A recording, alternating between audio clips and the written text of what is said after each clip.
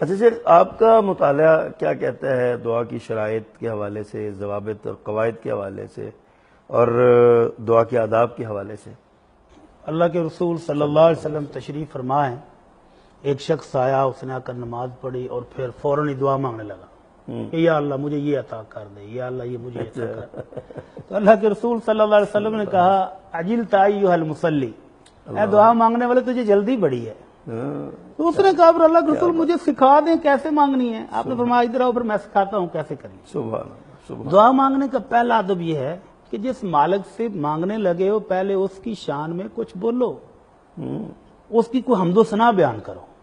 تو حمد و ثنا اگر ہم اپنے عوام کو بتائیں ناظرین کو تو کل ہو اللہ واحد اللہ تعالیٰ کی حمد و تعریف سے بھری ہوئی ہے۔ سبحان یہ سورت پڑھ لے سورہ فاتحہ پڑھ لے یہ بھی اللہ کی حمد و ثنا سے بھری ہوئی ہے بالکل صحیح۔ اس کے بعد آپ نے فرمایا دروشری پڑھو۔ جس دعا کے شروع میں دروشریف نہ ہو وہ دعا قبول نہیں ہوتی۔ قبول نہیں ہوتی صحیح۔ اور حضرت ابئی بن کعب رضی اللہ تعالیٰ نے تو باقاعدہ پوچھا تھا کہ اللہ کے رسول میں دعائیں مانگنے بیٹھتا ہوں۔ ہوں۔ تو اللہ نے تو آپ پر درود و سلام پڑھنے کا حکم دیا کتنا پڑھوں؟ اللہ اکبر۔ تو آپ نے فرمایا تیری دعائیں ہیں تو نے ہی پڑھنا ہے تجھے پتا ہے کتنا پڑھنا ہے؟ کہنے لگا اللہ کے رسول ایک چوتھائی وقت اگر دروشی پہ لگاؤں باقی حصہ دعاؤں پر کافی ہوگا۔ آپ نے فرمایا ان تفا ہوا خیر اللہ اللہ اگر کیا دروشی کی مقدار اور زیادہ کر دو جتنا میٹھا ڈالو گے اتنا زیادہ ہو جائے گا۔ کہنے لگا اللہ رسول ایک تہائی کر دوں؟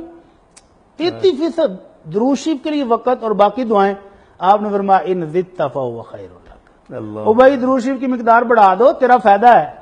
کہنے لگا اللہ کا رسول ففٹی ففٹی چلے گا۔ نصف نصف۔ آپ نے پھر وہی فرمایا ان ضد تفا ہوا خیر اللہ اور بڑھاؤ اور بڑھاؤ۔ تو کہنے لگا اللہ کے رسول دو تہائی وقت دروشیف ہوں۔ اور ایک تہائی۔ اپنے لیے دعائیں بھی تو مانگنی ہیں۔ آپ نے فرمایا ان ضد تفا ہوا خیر اللہ۔ او بھائی اور مقدار بڑھا دو اور خیر ہو جائے گی۔ کہنے لگا اللہ رسول پھر دعا ضرور مانگنی ہے پھر دروشی بھی پڑھی جائیں گا۔ کیا بات تو ایسا ہوتا نہیں ہے نا۔ تو اللہ کے رسول نے فرمایا اگر ایسا ہو جائے کہ تو اپنی دعائیں التجائیں بول کے صرف دروشی پڑھے تو اللہ کے رسول نے دو بشارتیں دی۔ اذن تکفا ہمک و یغفر لک ذنبک۔ اللہ ساری پریشانیاں سارے دکھ ساری تکلیفیں بھی دور کرے گا اور تیرے سارے گناہ بھی معاف کر دے گا۔ کیا بات اس پر میں ابھی دو دن پہلے دیکھ رہا تھا۔ سعودی عرب کے بہت بڑے عالم دین ہیں۔ Doctor Saleh Al Maghamsi. حافظہ اللہ. بہت شاندار خطیب اور ہے ہوں. اپنا ذاتی مشاہدہ بیان کرتے ہیں.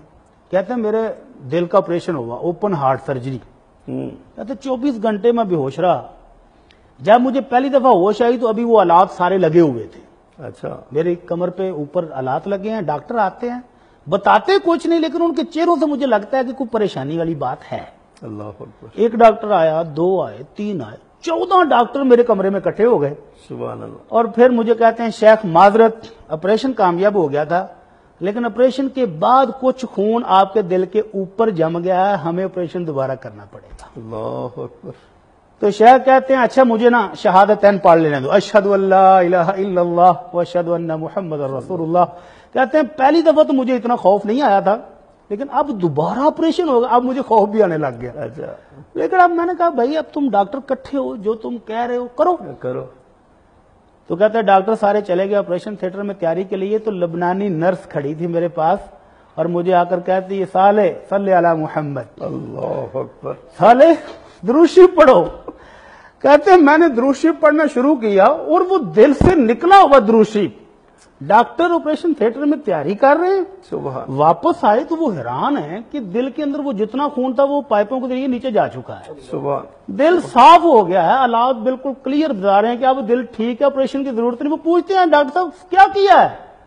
کہتے ہیں اس لبنانی نرس نے کہا تھا وہ مجھے یاد دلا دیا اللہ کے رسول کا فرمان اذن تکفا ہمک و یغفر لک ذنبک اللہ پریشانیاں بھی دور کر دیتا ہے اور اللہ گناہ بھی معاف کر دیتا ہے۔ تو دعا کے دعا میں سے اللہ کی حمد و ثنا اس کے بعد درود شریف اور اس کے بعد بار بار جیسے شیخ نے فرمایا کہ تھکنا نہیں چاہیے۔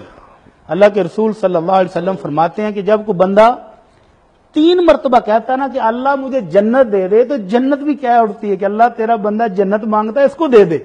اللہ۔ اور جب بندہ تین دفعہ کہتا ہے اللہ تیری جہنم سے پناہ مانگتا ہوں تو جہنم بھی کہہ دیتی ہے اللہ تیرا بندہ پناہ مانگ رہا ہے اس کو پناہ دے دے۔ دے۔ تو دعا کو بار بار مانگتے رہنا چاہیے۔ فقیر بن کے تو دکھائے نا بندہ۔ اللہ یہ اداب میں سے ہے۔